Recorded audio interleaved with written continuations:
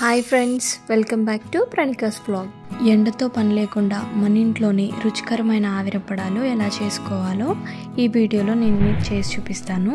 ముందుగా mixie jar తీసుకొని అందులో ఒక కప్పు రవ్వ రెండు కప్పులు నీళ్ళు వేసుకొని గ్రైండ్ చేసుకొని పెట్టుకోవాలి.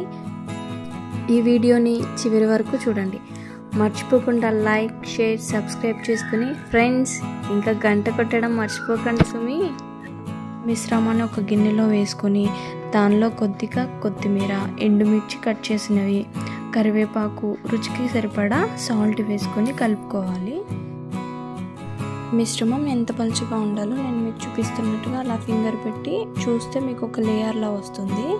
మనకి ఏ షేప్లో అయితే అప్పడాలు కావాలో ఆ షేప్లో లేయర్లా వేసుకోవాలన్నమాట. వేసుకున్నాక వాటిని స్టవ్ మీద రెండే సెకండ్లు పెట్టుకోవాలి. ఎక్కువ కూడా ఉంచకూడదు. రెండు సెకండ్లు పెట్టి తీసేసి వాటిని వాటర్లో వేసుకోవాలి. ఎందుకంటే ఆ మిశ్రమం మనకి కరెక్ట్గా రావాలి కాబట్టి. తర్వాత నేను చాక్ యూస్ చేశాను. ఆ చాక్ తోటి సైడ్లంతా పొరలంతా కట్ చేసుకుంటే మీకు చూసారా ఎంత బాగా వచ్చాయో?